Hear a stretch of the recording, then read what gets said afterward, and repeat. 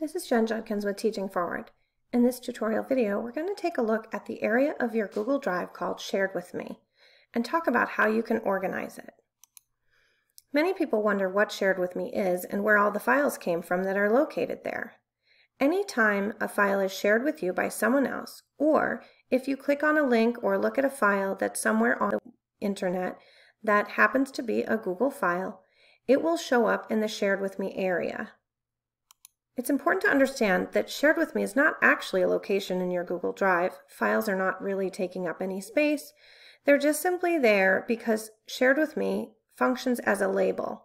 Any files that fit the criteria that are not owned by you but are rather shared to you and are otherwise not located in any particular folder in your drive will show up in Shared With Me.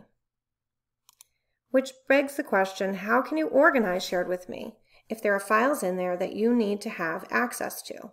Because Shared With Me is not a place to go looking for things.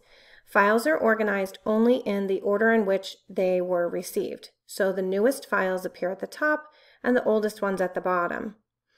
You can, however, use a shortcut in Google Drive to organize your Shared With Me files. We're going to take a look at that in this video. Let's get started. To begin, Navigate to Google Drive and click on Shared With Me. It's important to understand that Shared With Me is different than shared drives. You may have something called shared drives if you're part of a school organization which has created these. This video tutorial is only directed at the Shared With Me area of your Google Drive. So if this is a file I want to organize, I'm clicking on it first and right-click on the file and choose this option, Add Shortcut to Drive. Doing so brings up a menu that allows me to choose the location where I want to add the shortcut. I can navigate through my drive and choose a location. Once I've decided on the location, I simply click Add Shortcut. Notice that the file still is located and shared with me. It's not necessary to delete the file from shared with me because again, it's important to think about Shared With Me as a label and not a location in your Google Drive.